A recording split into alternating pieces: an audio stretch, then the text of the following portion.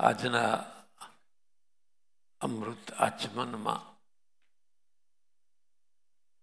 ઘણીવાર આપણે સત્વ ભાવ ચાલતો હોય, ત્યારે વિચાર આવે કે આપણે ભક્તિમાં, ભજનમાં, સત્સંગમાં વિઘ્ન કરે એવો એકે સ્વભાવ રાખવો નથી. થાય છે ને, કોક દાડો એવું થાય. ક્યારેક ઝબકી જાય ઝબકારો.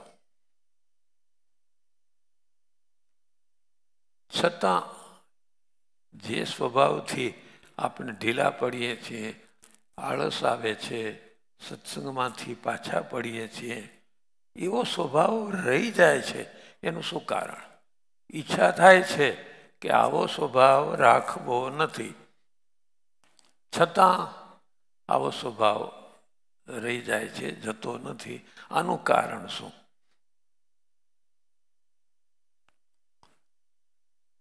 સ્વામિનારાયણ ભગવાને એવો સારો જવાબ આપ્યો છે.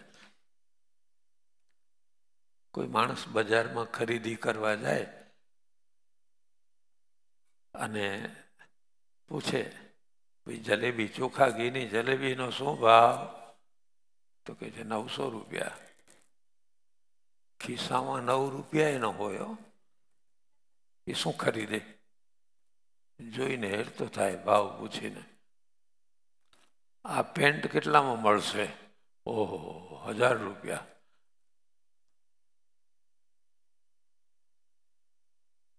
મહારાજના વચનો છે, હો. એક યાદ રાખજો, અહીંથી જે કથા થાય છે ને, તમામ પ્રમાણભૂત છે આપણો સિદ્ધાંત છે અપ્રમાણમ ન વક્તવ્યમ. કોઈ કલ્પનાની ગોઠવેલી વાતો નહીં, શાસ્ત્ર પ્રમાણ. શ્રીજી મહારાજે પોતે જ કહ્યું, જેમ દરિદ્રી હોય, એ હા સારા સારા ભોજન ઈચ્છે આવ્યો ને જલેબીનો ભાવ. દરિદ્રી હોય, એ ઘણા સારા સારા ભોજન ઈચ્છે સારા સારા વસ્ત્રને ઈચ્છે આવ્યો ને પેન્ટનો ભાવ? પણ ક્યાંથી મળે? એની પાસે પૈસા નથી, કારણ કે દરિદ્ર છે. એમ સારા સદગુણ, સારા સ્વભાવ ક્યાંથી આવે? કારણ વૈરાગ નથી. થોડોક તો વૈરાગ જોઈએ ને. થોડોક વૈરાગ હોય ને અમારા નિષ્કુળાનંદ સ્વામીએ છે ને આ વાત એમની કલમમાં અનોખી રીતે કહી છે. ઘાસ કટું ઘેબરના ભાતા, ખાવા કરે એમ ખાંત. પેલા ઘાસ કાપવાવાળા મજૂરો હોય ને, એ વિચાર કરે હા હા, આપણા આ ભાતાના ડબ્બામાં ઘેબર હોત તો. ઘેબર ક્યાંથી હોય? ભાખરીના ઠેકાણા માંડ પડે છે. શ્રીજી મહારાજ કહે છે, વૈરાગ્ય એટલે અનાશક્તિ. થોડોક તો વૈરાગ રાખવો.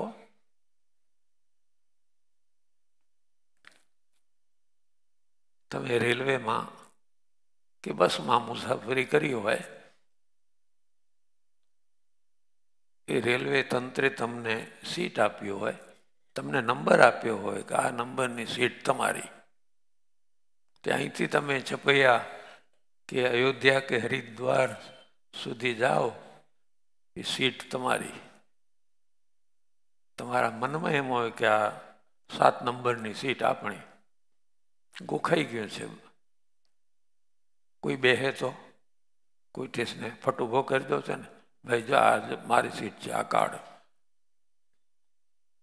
પણ જ્યારે તમે ત્યાં ઉતરો, છપૈયા કે હરિદ્વાર પછી સીટ ઉપર મમત્વ રહે છે. આ ગાડીમાં નહીં સાત નંબરની સીટ આપણી હતી એવું ક્યાંય થાય છે?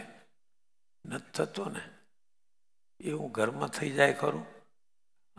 અત્યારે રિઝર્વેશન છે, આ રૂમમાં રહીએ છીએ. મુસાફરી પૂરી થશે એટલે આવો થોડોક વૈરાગ મગજમાં આવો વિચાર હોય ને, તો સારા સ્વભાવ આપોઆપ અંદર ઉતરે. થોડીક તો અનાશક્તિ જોઈએ. હવે મારું ઘર ને મારું મકાન ને મારું આ ને મારું મારું મારું ક્યાં સુધી? અમારા દેવાનંદ સ્વામી તો ખીજાઈને કંટાળીને કહે છે, મારું મારું કરીને. હા, એમાં તારું નથી, તલભાર. તું ભલે ને મારું મારું મારું કરે, પણ તારું નથી જ. તું ખાલી માની બેઠો છે. આ તો મજૂરની જેમ પોટલા ઉપાડવાના છે. પોટલા છે શેઠના, તો ઉપાડે બિચારા મજૂરો. આવી હાલત છે. કઠણ કામ છે થોડુંક તો વૈરાગ ભાવ રાખવાનો.